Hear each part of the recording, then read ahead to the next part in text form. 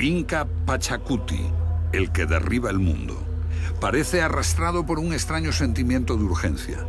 Partiendo del estrecho valle de Cuzco, él y sus cuatro sucesores inician un curso de expansión. En una de las más inaccesibles regiones de la Tierra, conquistan un imperio de una extensión similar a la existente entre Canadá y el Caribe o desde Islandia al Sáhara en un breve periodo de solo 80 años. Abolieron horrores tales como el canibalismo y la explotación de los campesinos por la clase guerrera y restauraron la paz después de ocho siglos de continuas luchas. Así se impusieron sobre los otros. Llamaron a su reino el Imperio del Sol. El Inca Pachacuti no pudo recuperar la antigua paz de Viracocha. Favorecer a los campesinos oprimidos podía crear conflictos con los guerreros. Para evitarlo ofreció a estos últimos el prestigio de participar en la creación del Imperio del Sol. Y así, la trayectoria de los guerreros se iluminaba con las imágenes del Sol y de brillantes estrellas y planetas. Existía un sentido y un objetivo. En todas las empresas de los incas había un reconocimiento de profunda tristeza, como también un sentido de la belleza y un placer en el riesgo ante la posibilidad de una tragedia.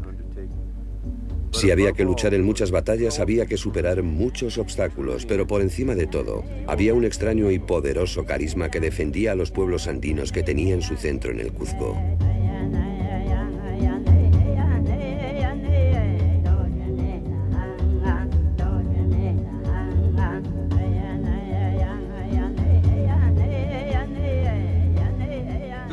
Esta es una de las mayores atracciones turísticas del hemisferio occidental, Machu Picchu.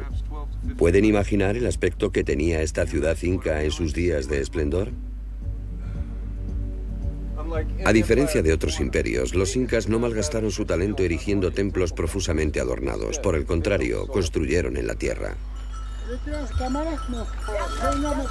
Por todos los Andes, los incas impusieron un férreo sistema donde cada tribu conquistada trabajaba por el bien común. El dinero era desconocido y la propiedad privada estaba severamente limitada. La grandeza se consiguió centrando todas las energías en la construcción de terrazas, sistemas de riego y carreteras.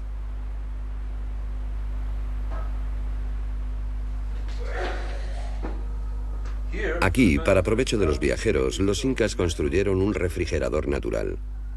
Afuera el sol está en su cenit, pero dentro la temperatura es 20 grados más fresca.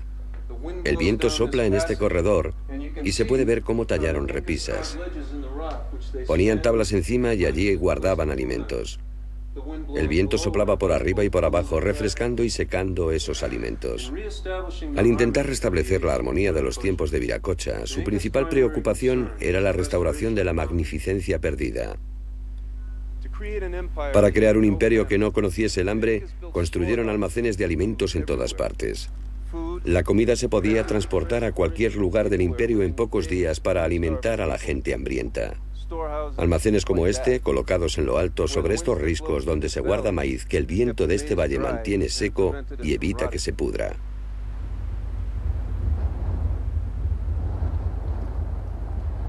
Con el mismo espíritu, los incas trabajaron sin descanso para desarrollar mejores tipos de cultivo.